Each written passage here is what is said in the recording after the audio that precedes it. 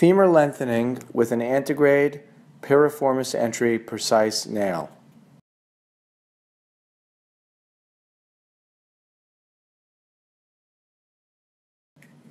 After a 1 cm incision is made, three drill holes are made at the osteotomy site.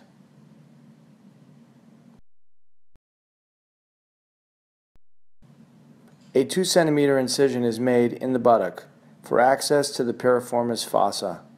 Then a guide wire is inserted into the medullary canal until the distal end of the femur.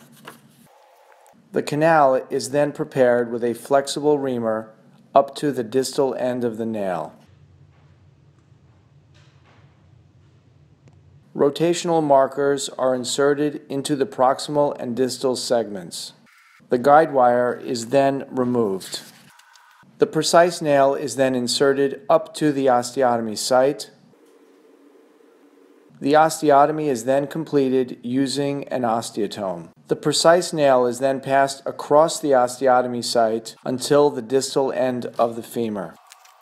The distal leg and bone are rotated around the nail to confirm a complete osteotomy.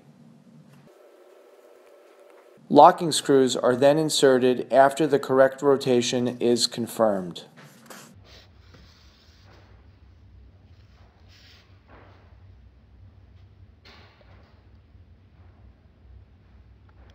At home, the patient uses the external magnet controller to typically lengthen the bone one third of a millimeter three times per day, equaling one millimeter per day.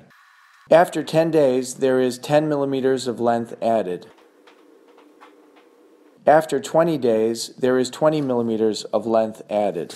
After 30 days, 30 millimeters or one and a quarter inches of length is added. This can be progressed up to 8 centimeters as needed. During the consolidation phase, the new bone hardens and heals.